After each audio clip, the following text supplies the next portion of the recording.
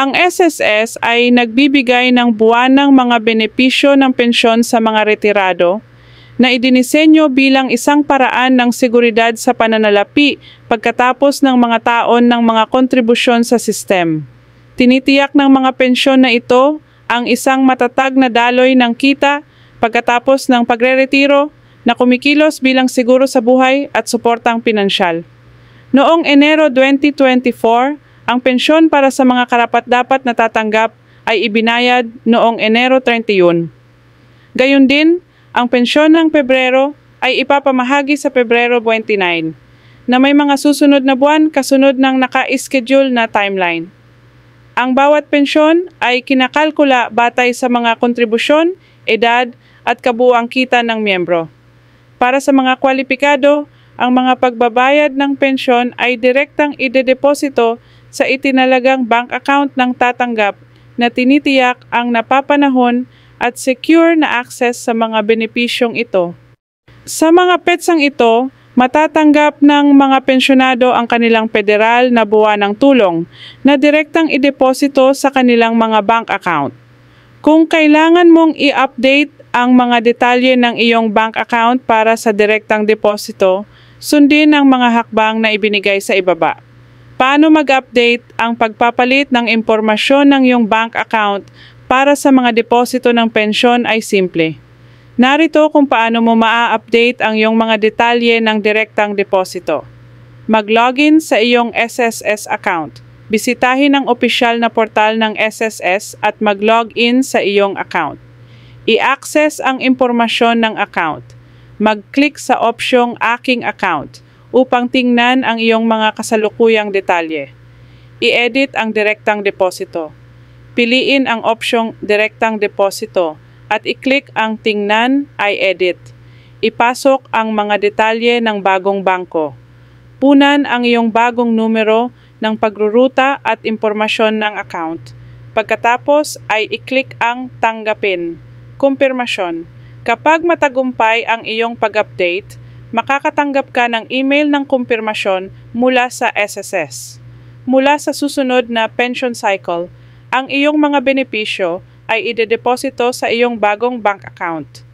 CSC Locator Menu Pananalapi, Tulong ng Pamahalaan, Tulong Pampubliko, Buwis SSS Pension Schedule 2024, Buwan-Buwan Breakdown, mga petsa ng pagbabayad at halaga ni Esteem Arif na published noong September 17, 2024. Bongbong Marcos ang Social Security System, SSS, ng Pilipinas ay nag-aalok ng buwanang pensyon at tulong pinansyal sa mga karapat-dapat na Pilipinong retirado. Ang mga pensyon na ito ay naglalayong tulungan ang mga pensyonado na pamahalaan ang kanilang mga gastos sa pamumuhay, lalo na sa liwanag ng inflation. Noong 2024, ipinakilala ng gobyerno ng Pilipinas ang ilang mga update sa sistema ng pensyon kabilang ang mga pagsasaayos sa schedule ng pagbabayad ng pensyon. Kung ikaw ay isang pensyonado o nagpaplano para sa pagreretiro, ang pag-alam kung kailan at kung magkano ang iyong matatanggap ay mahalaga. Sinasaklaw ng artikulong ito ang mga pangunahing update, kabilang ang buwanang schedule ng pagbabayad, mga halaga at mga tagubilin para sa pamamahala ng iyong pensyon, mga nilalaman itago, ANS-PETSA ng pensyon ng SSS Top 1 na Schedule 3. Paano mag-update? For SSS Pension 5, buod ng mga pangunahing update. 5.1 mga FAQ 5.2 Kailan ko matatanggap ang aking SSS pension sa Pebrero 2024? 5.3 Paano ko i-update ang aking impormasyon sa direktang deposito ng SSS? 5.4 Maaari ko bang matanggap ang aking SSS pension sa isang lump sum? 5.5 sa anong edad ko masisimulang matanggap ang aking pensyon sa SSS? 5.6. Paano tinutukoy ang halaga ng aking buwanang pensyon? Petsa ng pensyon ng SSS Joe Biden. Mga pagbabayad ng benepisyo ng SNAP na $1,800 noong Oktubre. Inanunsyo ang bagong EBT card loading schedule. Ang SSS ay nagbibigay ng buwanang mga benepisyo ng pensyon sa mga retirado na idinisenyo bilang isang paraan ng seguridad sa pananalapi pagkatapos ng mga taon ng mga kontribusyon sa sistem.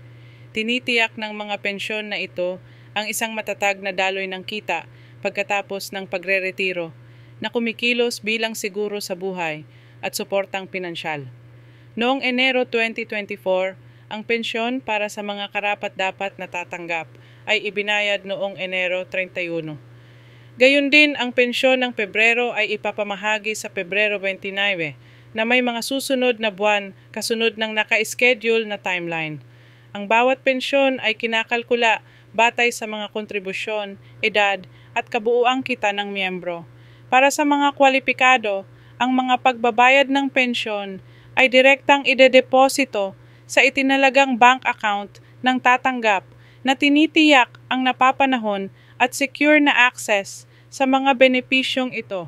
Buwan ng schedule narito ang schedule ng pagbabayad ng pensyon ng SSS para sa taong 2024. Petsa ng pagbabayad ng buwan, Enero 2024, 31 Pebrero 2024, 29 Marso 2024, 29 Abril 2024, 30 Mayo 2024, 31 Hunyo 2024, 28 Julio 2024, 31 Agosto 2024, 30 Setyembre 2024, 30 Oktubre 2024, 31 Nobyembre 2024, 29 Disyembre 2024, 31 Joe Biden kinukumpirma ng Social Security ang PETSA ng unang pagbabayad sa bagong pagtaas ng check opisyal.